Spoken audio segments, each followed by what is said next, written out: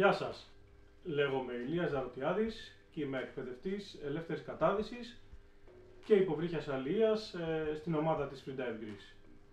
Στα πλάνα που θα δείτε βρίσκομαι στη Βόρεια Εύβοια και ψαρεύω κάτω από δύσκολες συνθήκες από πλευράς ορατότητας.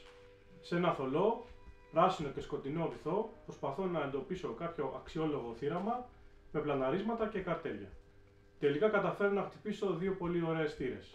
Το πρώτο ψάρι, γύρω στα 2 κιλά, με καρτέρι κάτω από ένα σκαλοπάτι και το δεύτερο ψάρι γύρω στα 2,5 κιλά με ένα βαθύ πλανάρισμα. Το πρώτο ψάρι ήταν ήρεμο όταν φτάνω στο βυθό. Με το καρτέρι σταματάει, γυρίζει προς το μέρος μου και με παρατηρεί.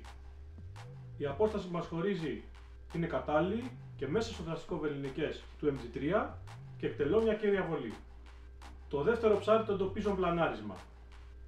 Κινείται με σταθερή πορεία κοντά στο βυθό και χρησιμοποιώ μια τεχνική που μπορεί να έχετε δει και σε άλλα πλάνα μου.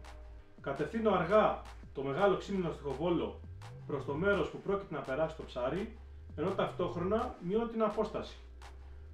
Όταν η απόσταση μειωθεί και μπει το ψάρι μέσα στο δραστικό βεληνικές και ευθυγραμμιστεί με τη βέργα μου, εκτελώ τη βολή. Η στήρα είναι δικιά μου και εδώ σας αφήνω για να απολαύσετε τα πλάνα.